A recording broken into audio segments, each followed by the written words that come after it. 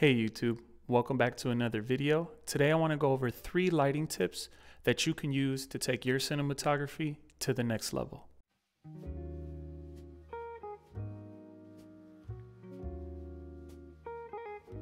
I think a lot of us are taught when we're coming up in lighting and the film world that underlighting is like a horror thing because when you underlight somebody, we're not used to seeing light coming from that direction. It's creepy. And then I went into it more and learned that beauty lighting uses a lot of underlight to fill in the shadows to make the face look more appealing. And so that got me thinking, can you find the line where you can make an image still moody, but also use bounce light? Something that maybe everybody else does. Uh, I honestly think it's used a lot more than I realize.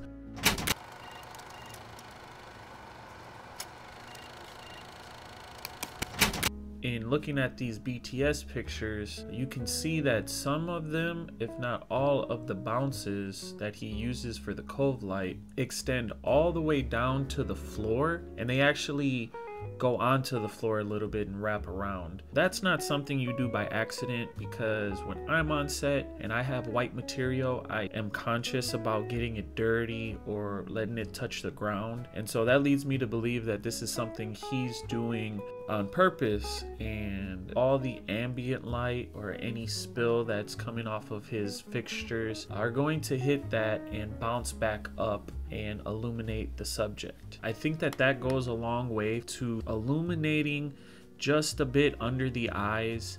It's so subtle and natural that it's something that we don't realize, but it's definitely something that now that I know about it, I'm going to be looking for on my own personal shoots but I do think that if you use this setup the right way, you are going to be able to get a natural looking image. And it's definitely something I'm going to be adding to my lighting toolkit. So yeah, let's get on to the next lighting setup.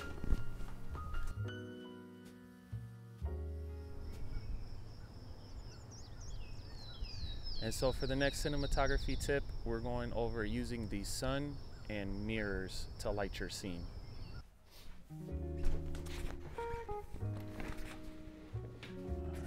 So I had originally wanted to do this outside, but due to circumstances I couldn't control, I'm here indoors. But I think this setup actually shows how I use the mirrors. The thing I really like about these mirrors is that they're very versatile, very lightweight, hard source. Now you can get the same kind of harsh light with flags or even a spotlight mount, but that's gonna take up a lot of space. And so this is where a setup like this really shines. Another use case I like to use this for is when we're on a project and there's no budget for set design. Sometimes we're stuck shooting against a bare wall, plain white.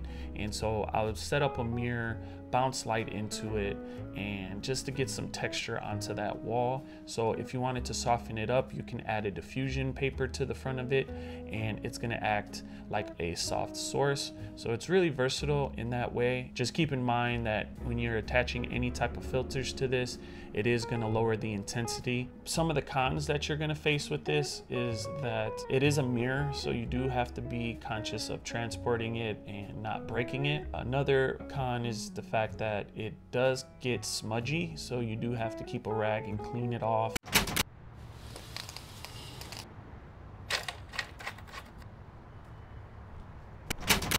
So for my third cinematography tip, I want to go over something called skip lighting.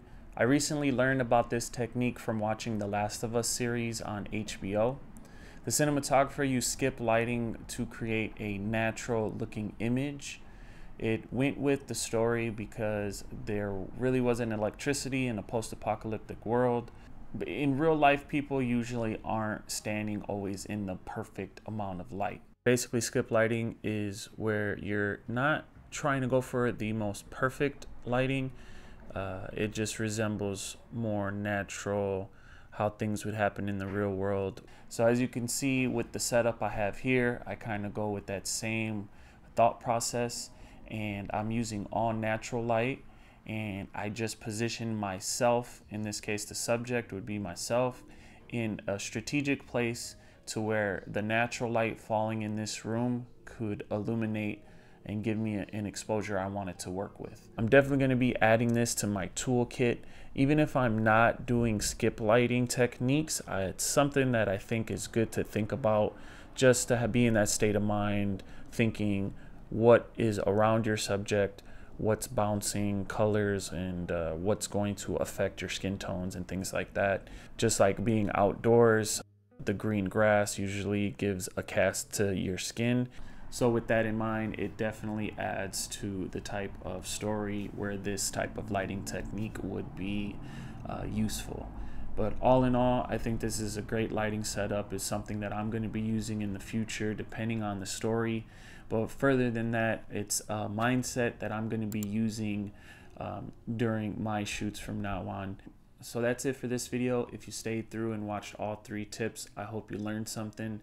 If you have anything else to add, you can leave it down in the comment section below. And if you're not subscribed, you should go ahead and do that because next video I'm going over a music video that I recently was able to direct and be cinematographer on. So you're not going to want to miss that. And if you're already a subscriber, thank you so much for your support. I'm so appreciative of all the feedback I've been getting on the other videos. So that just gives me motivation to continue to bring content. So thank you and until next time.